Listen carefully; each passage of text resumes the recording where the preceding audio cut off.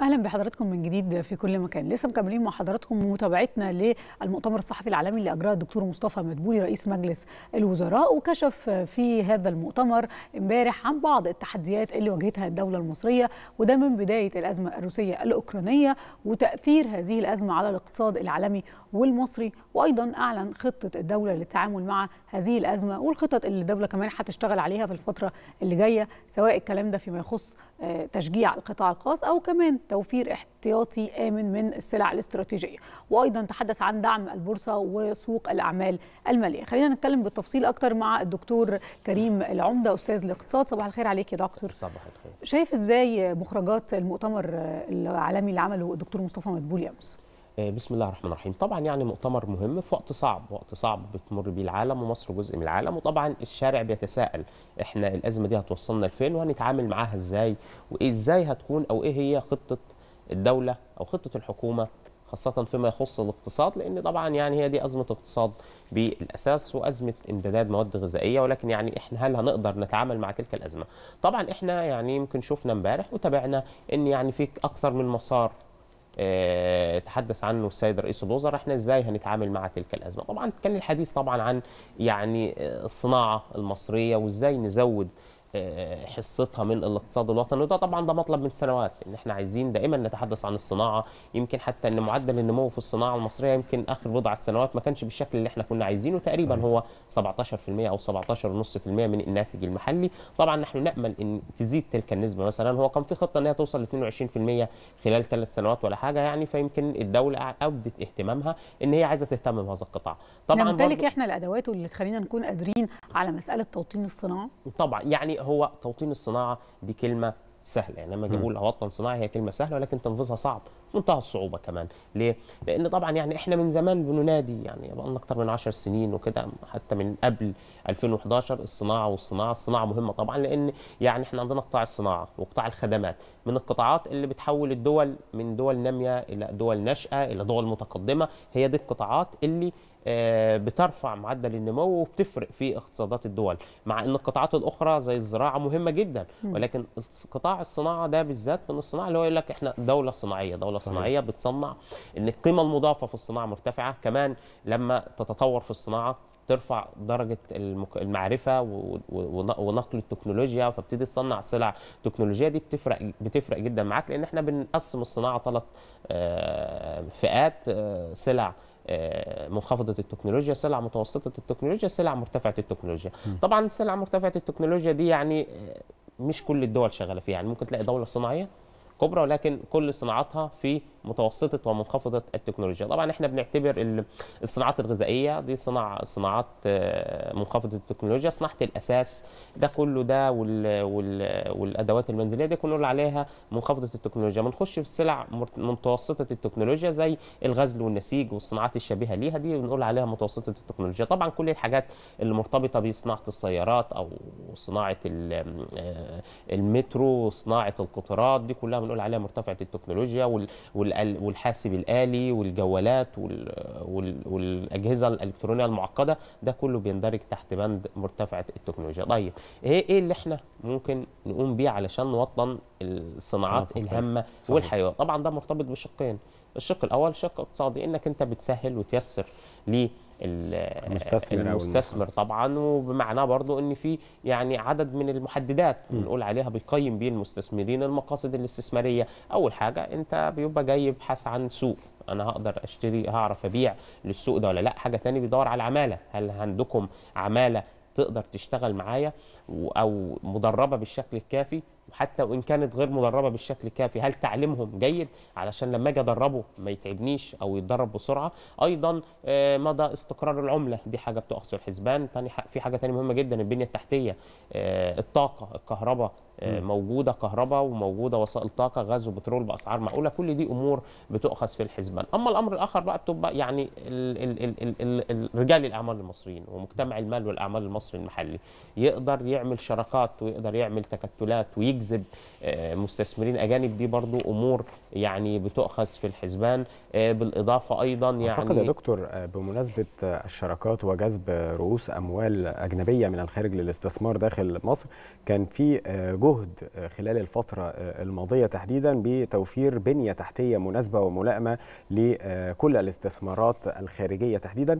ودي نقطة مهمة تحدث عنها آه، دكتور مصطفى مدبولي آه، رئيس مجلس الوزراء لما قال يعني كان في بعض الحناجر اللي كانت طالعة على ال social media وبتقول إيه أهمية المشروعات القومية الكبرى اللي أنتم بتعملوها؟ هل آه، يعني ونادت بتوقفها أثناء حدوث الأزمة الأوكرانية الروسية؟ وقالت نوقف ونصرف بقى على الأكل والشرب فقط وكفانا ذلك. يمكن فند دولة رئيس الوزراء هذه المشروعات وتحدث عن آه، الكهرباء وإزاي بقى النهارده عندنا آه، اكتفاء وبنصدر كمان من بره. اتكلم على آه، أزمة الغاز وفي مقارنة كمان مع ما حدث من هذه الحرب من ارتفاع أسعار آه، الغاز وبالتالي آه، كنا هنستورد غاز بدل ما إحنا دلوقتي حققنا اكتفاء ذاتي أيضا في الغاز وبنصدره. لا مشروعات القومية الكبرى للاستثمار في الغاز كانت كفيلة إن يبقى عندنا اكتفاء ذاتي وان نقدر إن إحنا ما نجيبش غاز بره بسعر مضاعف وما عندناش عملة صعبة تقدر اللي هي تلبي هذه الاحتياجات. كيف يعني ساهمت هذه المشروعات القومية الكبرى خلال الفترة آه، الماضية ل آه، يعني وجودنا في مستوى نمو آه، خلينا نقول ثابت أو بيرتفع حتى ولو بشكل طفيف بشهادة كبرى المؤسسات زي صندوق النقد الدولي؟ يعني طبعا لازم أن نضع في الاعتبار يعني حتة إن أنا أقسم المشروع ده منتج ولا غير منتج دي أنا حتى ده سؤال بالنسبة لي سؤال غريب يعني ما يعني أنا مش عارف الكلام ده بيجيبوه منين. أي مشروع بيو- بيوفر فرص عمل بيشغل القطاع الخاص وراه. يعني كل جنيه بتستثمره الدولة بيترتب عليه ثلاث أضعاف من ثلاث لأربع أضعاف القطاع الخاص بيجي ورا شغل الدولة وبيستثمر. آه كمان طبعا يعني ده بيأثر يعني بيعمل نوع من أنواع النشاط الاقتصادي. آه كمان أيضا الجانب الآخر يعني أي لا مشاريع هو هو يمكن الناس اللي بتتحدث غير متخصصين فهم آه، بيتحدثوا في تخصص مش بتاعهم فبنتكلم في إنه آه، إحنا آه، مش فاهمين احتياجنا إيه للطرق والكباري مثلا. ما هو الكلام فلما يجي رد رئيس الوزراء إن إحنا محتاجين نرد الطرق والكباري محتاجين الاستثمار في التكنولوجيا تكنولوجيا الاتصالات لكن لأن لازم يكون عندنا بنية صحيح. تحتية قوية علشان نقدر نجيب استثمارات ونعمل مشاريع. هنا تيجي أهمية المصارحة والمكاشفة. ومش يعني- بس ال- ال- الطرق والكباري اللي آه، قالتها هدير لا هنا كمان كان في تفنيد ليها كان يعني رائع بصراحة. لما قال دولة رئيس الوزراء إن آه، وفقا للتقارير الدولية اللي كانت بتقول من 2008 إن مصر خلال عام 2020 هيبقى مستوى حركة سير السيارات فيها 8 كيلو في الساعة. آه، يعني إحنا بص الموضوع ده يعني لازم نتناوله من جزء يعني إن القاهرة ازدحمت وتكدست بشكل كان يعني كان يستحيل المعيشه فيها. يمكن حتى صنفت من أكثر عواصم العالم ازدحاما فلازم أن يكون في حل سريع وعاجل للنقطة دي. ده أول حاجة. تاني حاجة مع الزيادة الكبيرة في السكان وإحنا متركزين في الوادي الضيق فأنت محتاج تخرج بره الوادي. يعني إحنا منذ آلاف السنين ما كناش بنخرج بره ال 4% ولا ال 5% لأول مرة في التاريخ المصري اللي إحنا خرجنا من الوادي الضيق وابتدينا نتوسع.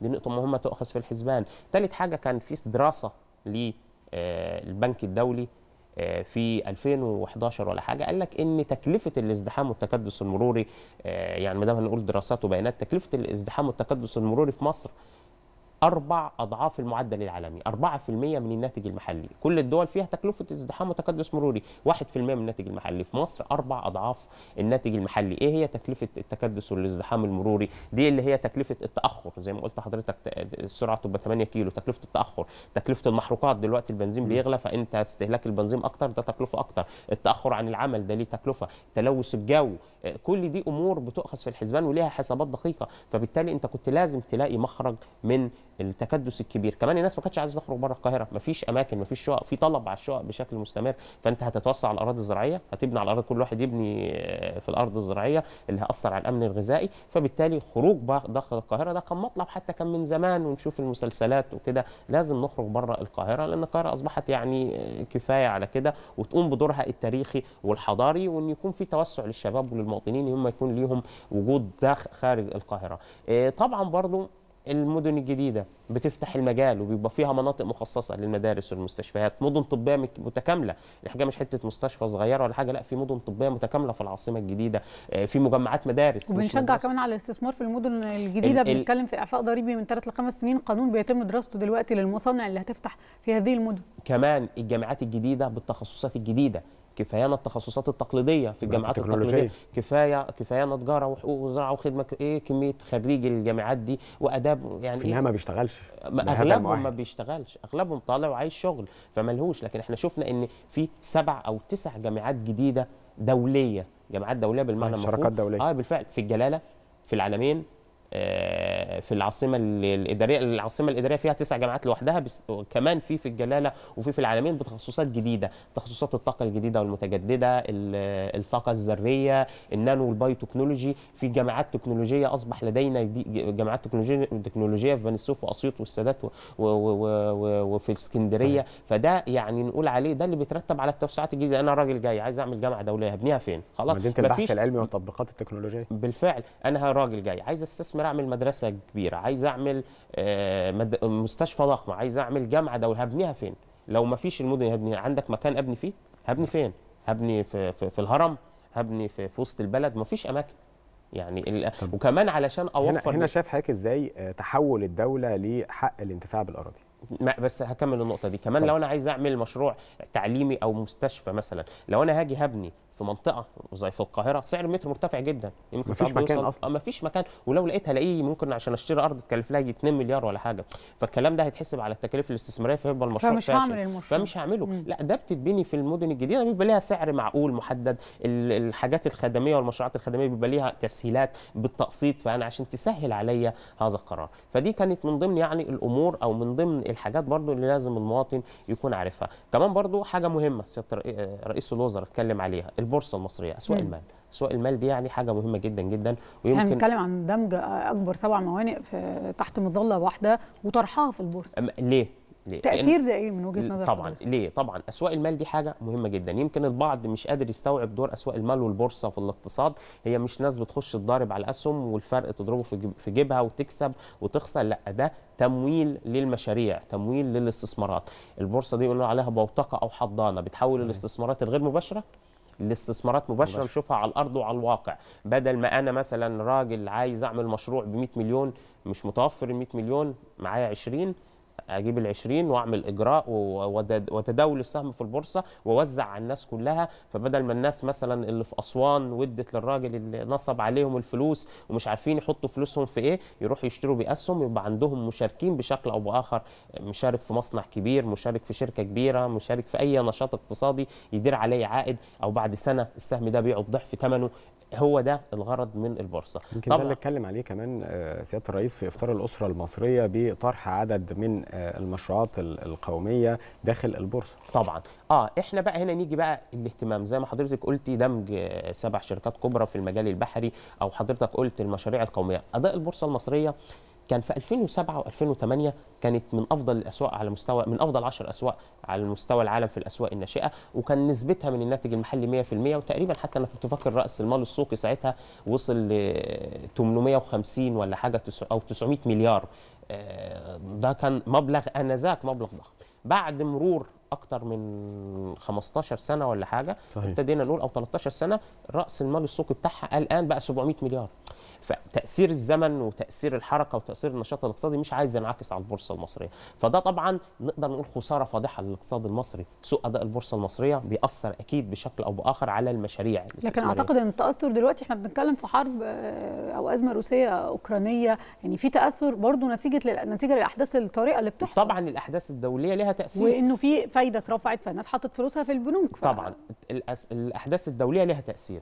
والأحداث المحلية برضو بيكون لها تأثير. ولكن أنا ببقى شايف إن التأثير عليها كبير فبالتالي في اهتمام بقى بالدولة لأن إحنا قعدنا نطالب إصلاح مم. البورصة اهتمام بيها آه، طرح مشروعات عملاقة لأن لما نيجي نطرح مشاريع بالقوة دي ده أكيد هتجذب سيولة جديدة للبورصة هتعمل فيها نشاط. تدي ثقة هتدي للمستثمر وللمواطن إنه بالفعل. هنزود السيولة نزود الأداء نرفع الرأس المال السوقي للأسهم علشان تكون عندنا بورصة تجذب مدخرات صغار المستثمرين المواطن العادي اللي عنده 100000 200000 بدل ما يعني شو البديل البورصة دي هتعوضنا إيه؟ بدل ما ندي للمستريح مليارات لو اتضخت في البورصة على فكرة كانت فرقت جامد جدا. ان بدل ما الناس تروح تشتري العملات المشفرة على فكرة. كان في منصات بتتحدث إن العملات المشفرة دي في 1.7 مليون مصري. يعني 2 مليون مصري تقريبا إلا بيستثمروا في العملات المشفرة. واثبتت اللي هي ال- ممنوعة. وأثبتت ال- المحنة الحالية. في فكرة إن العملات الش- المشفرة دي أيضا هي غير آمنة لأنها تراجعت. ما ما يعني رجع. برضه فده تسرب. يعني إحنا بنقول عليه تسرب من ال- من من مدخرات المصريين علشان مش لاقيين وعاء استثماري يضخوا فيه أموالهم فهتهرب بره. أنا قلت عملات مشفرة. اذا بقى تو- اصبح في توفير الأوعية الاستثمارية مهم جدا للناس. وكمان مسألة إنه آه، يكون في من ينصح مم. الناس آه، هتعمل شهادة هتحط فلوسك في إيه ما هم لو شافوا؟ لو شافوا قدامهم نماذج حية لناس بتخش تستثمر في البورصة وبتشتري أسهم وبتكسب هو أكيد هيتجه لوحده مم. للكلام لكن هو النماذج اللي شايفها قدامه اللي زمايله بيخشوا يخسروا. هو ده اللي شايفه فعشان كده بنقول إحنا بنطالب بيها المشاريع دي بنطالب عفوا بطرحات بطروحات ضخمة شركات كبيرة بتدير عائد بتعمل توزيعات نقدية لو أنا مثلا مشتري سهم بجنيه وبيوسع عليا مثلا كل سنة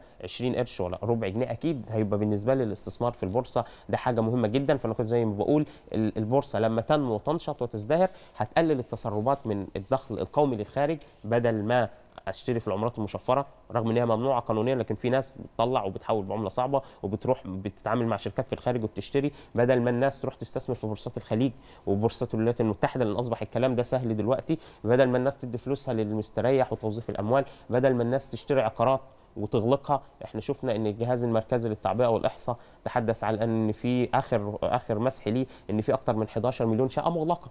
11 مليون شقة مغلقة دول إيه؟ دي الناس. بتحط فيها فلوسها. فبالتالي ده بديل. البورصة هي بديل للكلام ده يا. دكتور كل هذه البدائل كان مهم جدا خلال المؤتمر ال- العالمي اللي تم الإعلان عنه اللي أثبت إن في لجنة إدارة أزمة عندها قدر كبير جدا من الشفافية بالإضافة لفكرة البحث والتحري والعمل على آه، سرعة الرد على كل ما يدار في أذهان المواطن سواء كان المصري أو المستثمر العالمي. الدكتور كريم العمدة أستاذ الاقتصاد بنشكر حضرتك فندم على وجودك معنا في صباح الخير. شكرا جزيلا يا دكتور شكرا. شكرا.